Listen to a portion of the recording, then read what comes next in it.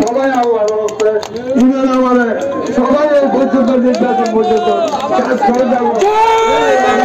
নেতা কর্মীগুলোর লয়েরে মহেশখালী উপজেলা সহকারী রিটার্নিং কর্মকর্তার কার্যালয়ে যায় মনোনয়নপত্র জমা দিয়ে কক্সবাজার দুই মহেশখালী কুতুবদি আসনত আওয়ামী লীগের প্রার্থী বর্তমান সংসদ সদস্য আলহাজ আশিকুল্লাহ রফি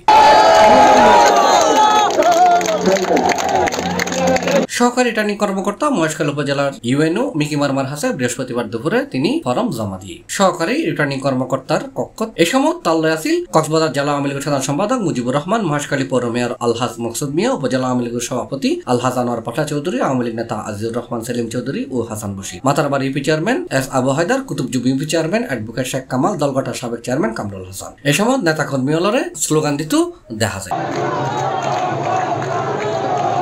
মনোনয়নপত্র জমা দিয়ানোর পর আওয়ামী লীগের মনোনীত প্রার্থী আশিকুল্লাহ রফিকে হই। বাংলাদেশ আওয়ামী লীগ সবসময় নির্বাচনমুখী একটি দল।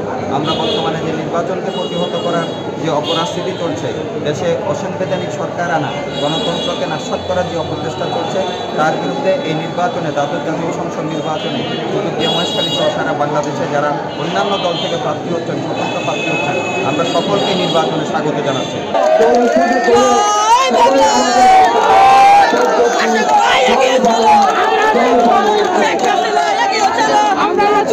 C plus Chittagong